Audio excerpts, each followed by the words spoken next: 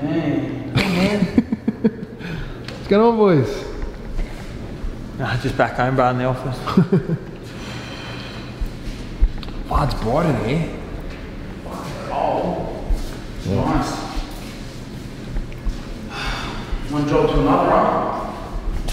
Just make coffee today. Come check in here. Get on the laptop. Make sure everything's going well. Bit of a skateboard. Nah. All right, got the boys in the office today about to shoot our Q&A vlog. Roll the intro. Let's go.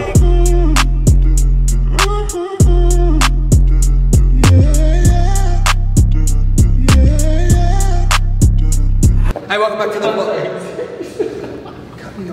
Hey, welcome back to the. What happened? What is it? oh, I can't take it seriously. What, the glasses? Yeah, get them off, Jim. Hey, welcome back to the vlogs. Uh, this is a Q&A vlog, first one of 2019. Um, asked a question last night if you guys had any questions for us or also the boys. Um, we'll put this vlog together for you guys here. So basically we'll start off. Probably our most commonly asked question was, Chico, what are you doing this year? What am I doing this year? Find out Monday. Find out Monday, eh? To be announced, TBA. TBA. So not too sure yet. It's um, we're definitely playing rugby league. I'm not retiring. Even though people's been tossing that up. It's not even a laughing matter. Just, enough's enough, man. Enough's enough. man. Someone signed this kid. That's it living off the boys for the last four months. Four years. Um, second, second most asked question, how's the Dragons going? Yeah, it's actually alright. Drive's alright. 40 minutes down here from Cronulla. I'm living back, living with Chico. Um, all the lads down there are good. Um, I knew a few of them already, so it made the transition a bit easier. So Who's your best mate at the Dragons? my best mate. Yeah. Nah, I don't have one yet. Uh, what advice would you give to your 18 year old self if you wanted to make it in footy? Um, probably concentrate on football more.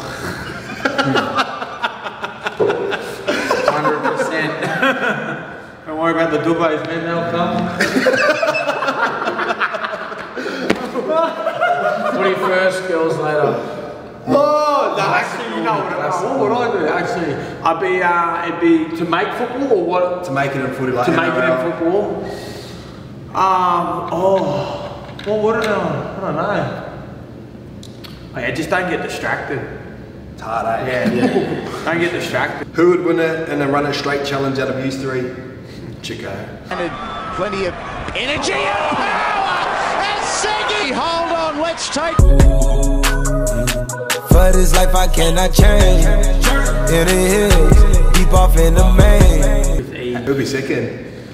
I flipped him in wrestle not too long ago. yeah. He wouldn't let me leave the room until we had a rematch and I got tired. I flipped out Coogee too. Ice not saying anything. Who's smarter out of Chico or Corey? Guilty. Is that you're smarter? Yeah, easily. There is no chance he's smarter than me. I am. At least I don't try to use big words in the wrong sentences. Wait, wait, we're gonna settle Even this. this- We're gonna settle this. We're gonna do something, and then we're gonna give you the result. There is no chance he's smarter than me. Um, he's bringing out a YKTR shoe. Yes, we are. They're currently getting designed and sampled up now. We are bringing out slides. Uh, we've got prototypes there, but they're not quite where they should be. Not very comfortable, comfortable to be honest. But yeah, we definitely will be. Uh, tech project that should be dropping in April. There's some of the stuff behind us there, so it'd be good to see how that goes as well. Uh, Corey, are you going to play for the Maldives? No. Nah. No, I'll give you. I'll give you a reason why. It's because I don't know my old man, and I've got nothing to do with that that side of my family. So I've never met him before. Um, so I feel like I, I know a lot of Disrespecting Maldives. the jersey. Yeah, I know a lot of Maldives and Kiwis, and they're very passionate and proud about their background. So if I were to play for the Maldives or New Zealand, I'd be taking the piss and just doing it for the money. That's fair enough. Honesty, honesty. Fullback or 5'8", which would you rather play? Nah, f- five eight. I'm not explosive enough to be a fullback. How do you take on constructive criticism without being stubborn? Um, Obviously, you boys and everything. oh, yeah, everything. Obviously, boys cop a lot of flack more than most in media and that. Constructive. Oh, that's If it's good, if it's good for me, and I know um, it's something that I need to work on or something like that, I'll take it on board. But if it's just from, oh, it's someone who knows what they're talking about as well, I'll, I'll take it on board. But if it's any Joe Blow or, or someone who thinks they know how to do something they've never played or something like that, um, it's uh, water off a duck's back with me. I used to, I used to be bad, real bad at it. I never used to take it. What the perfect rugby league player? Yeah. but I'm learning. I'm every day I'm learning how to get better. Travel plans for 2019. Where do the boys want to go this year? Queenstown and South America. South America. What's your boys' honest opinion on the off season so far? Uh, probably. Um, uh, can you? Are we allowed to say this? I don't know. I'm just asking questions. I feel like it's. a bit- I don't know. Actually, I'm not gonna say anything. What's the hardest part about running YKTR? Um, Nothing.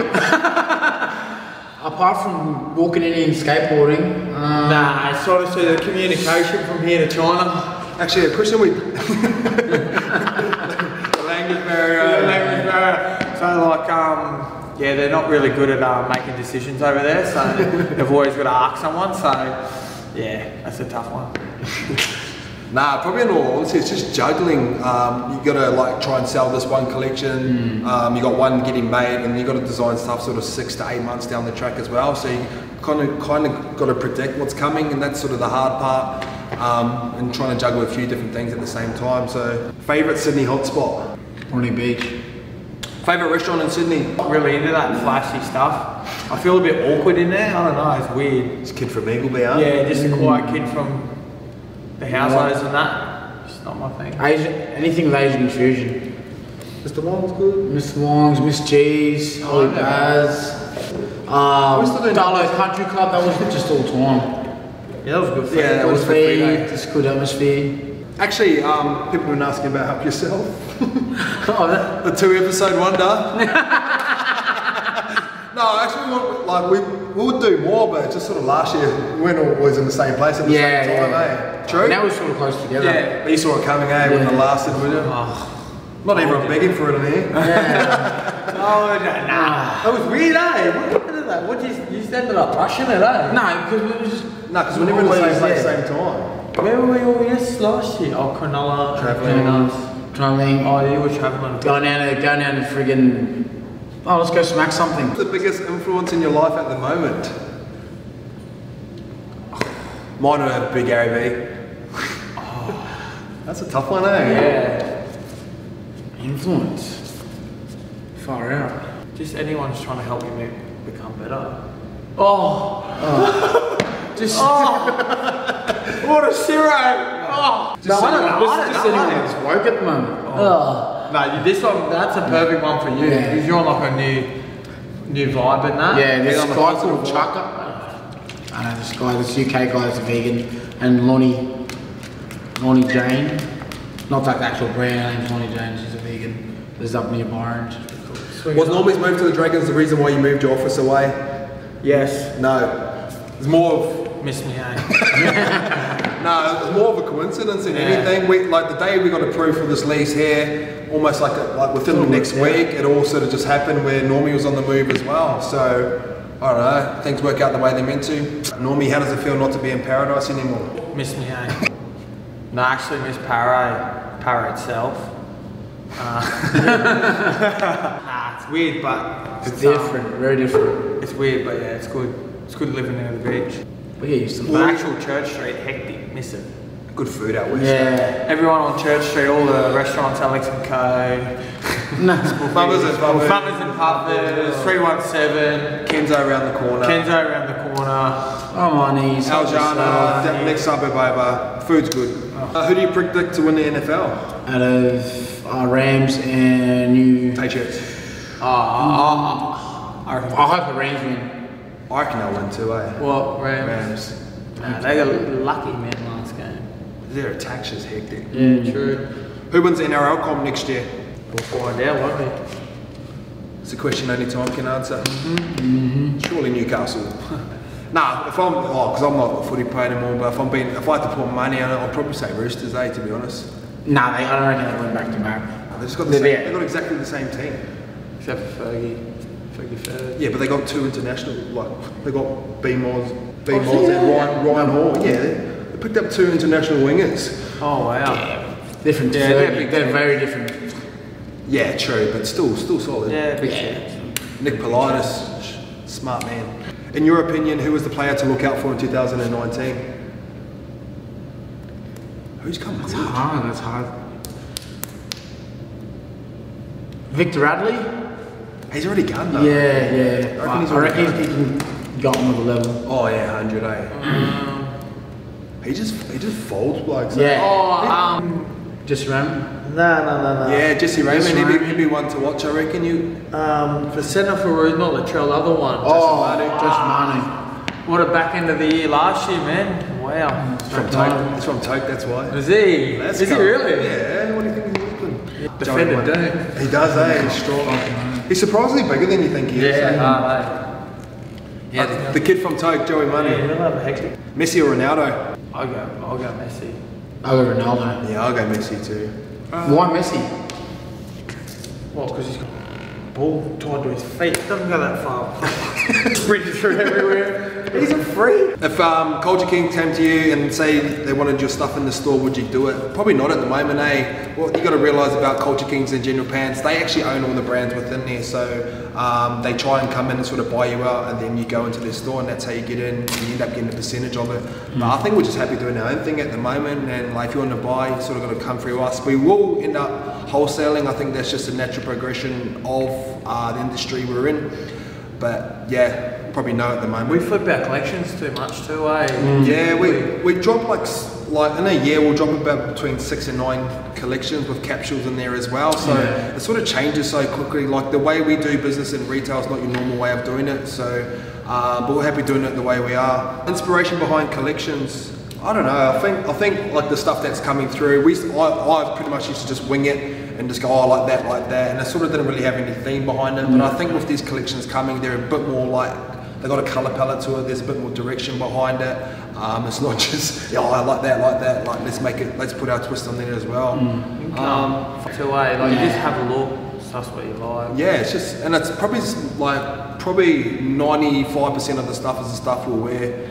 So, and it's like um, like a lot of our stuff's just basic and plain, and we focus on cuts, colors, and sort of like material and stuff like that. So none of it's too like out there at the moment, but we do want to progress into this graphic stuff that we want to do. Um, a lot more bold stuff, but you sort of got to get your foot in the door and build a brand first and get a customer base before you start trying to change certain elements of your business. And that's why sort of Tech Project's been uh, marketed in a different way because we use different fabrics. And if the pricing point's higher, people are going to go, why is YKTR this and this is that? When we're using um, materials that cost a lot more to put together. Do you know what I mean? So, um, yes.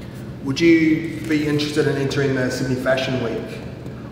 I don't, I don't really feel like that's us, eh? Yeah. People, a lot of people ask me like, oh, why don't you do like runway shows? And I don't, because we don't come from like a fashion background Yeah. or like, like we're not, even though we sell clothes and it's fashion, we're more sort of a lifestyle brand. You know what I mean? And um, yeah, we're, like none of us, like I talk to people now that have been in the industry and gone to the design school and they asking me all these questions. and I genuinely don't know what to say because I don't have the answer. Yeah. They're like, oh, where'd you get your motivation? Or Yeah. It's like, oh, I don't know. Like we sort of just we've sort of just put it together and built a brand around just us being friends, to be honest, and that sort of stuff.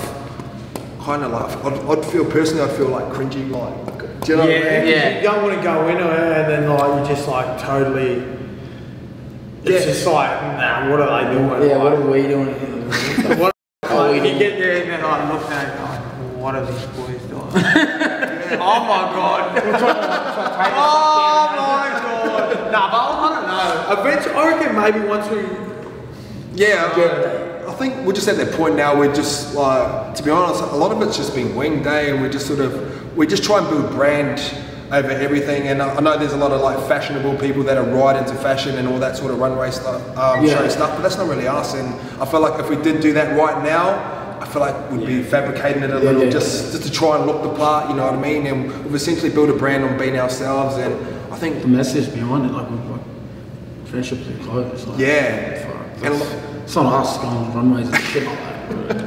Maybe in the future, but just probably not right now, eh? You guys hiring? No. What, uh, What has been your the biggest- last gig for hiring? Just want a job here. Oh. I don't understand, like, what? What are they gonna do, man? I really do. Nah, but like, But like we didn't have to. Like, yeah, like, Yeah. like, What has been your biggest challenge or failure in the business so far? what? Biggest challenge or failure in the business so far? Um, there was a time when we first started out and it sort of come around to tax time. and I was telling the boys, I'm like, nah, it's a rock. Like, I didn't really understand the tax laws within business. And I thought we were going to get this chunk of cash back like we did personally, like, you know, you do a tax return there. And I went into the accountant's office and he goes, yeah, you- you're getting nothing back. And like, honestly, it was the worst feeling in my life. Like I felt like I let the boys down. I, I was ringing the boys. I, re- I, was ringing, I was ringing the boys straight away. I was like, oh, f- this, like we're done. Like we've got no money. Right, he's like I'm almost crying. I was like, Yeah, mate. I was- I was I was like, so right, come over. I'll cook you. di- Like, I'll cook you, cook you dinner. We can just relax. I remember sitting in the park just going, Why? Yes, I did. no, you did. Well, you're on the phone to me. No, but then as soon as I heard the Tony's voice, he's like winded for three Yeah, hours. that's what I said. I was like, got kicked in the stomach. it honestly felt like someone had punched me in the stomach. And Even when he came home, yeah, I was, I was so angry. man. Relax, man. I was like this far from crying, but the boys like. Last question: Tips to starting a clothing brand. Alright, it's But it'd be marketing from what I've been watching you do. But Yeah. I reckon that's the biggest thing. to be successful, Do you know what? It's so much harder than like a lot of people think. I reckon. Like it's one of the easiest industries to get into. Like it's not hard to put YKTR across that, but I think it's the branding and marketing. To be honest, mm. like you can go down to a place now and get a T-shirt made, and everyone's got a brand all of a sudden. It's just trying to get it on people and trying to get in front of people's eyes and like out of context. Us on Instagram, like we drop six posts a day, and that's and I, I don't feel like we're dropping enough content and. Um, it's just having the amount of content and the brand that people want to follow, and it's I don't know. I think just telling the truth has always been important. Yeah, I feel like that's how we're how we're relatable. We're pretty open with you guys. Like when we muck up, we muck up. Um, we do stuff like this and answer you guys' questions, and it helps build branding, and you find people want to support you. So it's not. I don't think it's always about the clothes and the designs and all that. It's more so building the brand that people want to follow. Like we were also really relatable people. Like we've all did, got different personalities, like all around the same, but yet. You know, it's But it works, be- eh? Yeah, it Yeah, works like us behind the clothing. Yeah, it's, it's weird. Like us three together, like it sort of just flows. It works. Our vlogs are obviously like better, just stuff like that. But the relationship me and Chico have compared to like me and Corey, or the relationship them two have, are like completely different. But I think somehow it just gels and it works. So, and I feel people people find that relatable somehow and want to support us, and that's basically it. All right, um, that wraps up the vlog. We shoot more content with the boys around. We all sort of live a little bit closer together now, so um, people have been asking just for them vlogs when we just muck around all day. Surely Yeah, one more barbecue, there. barbecue. Yeah, we'll do. Boom, Barbie, Barbie, bas- Bronny. basketball, Yeah. little game, Oh, yeah. one on one, boom. Oh Settle- yes, Settle it. that's yeah, settle it. Settle it. Settle the scores. Oh, me and Isaac versus Normie in this What, pickup. Normie and Normie by myself, 2v1. Oh, Still- didn't want us to leave. Only just, only just got Didn't me want us to two. leave. No, no, no, no, you. Only just got me two. Embarrassing. Just got here. It was four two. All right, guys. That wraps up the vlog for today. We'll get some more content out to you guys soon. Later. For this life I cannot change. In the hills, deep off in the main. Eminem.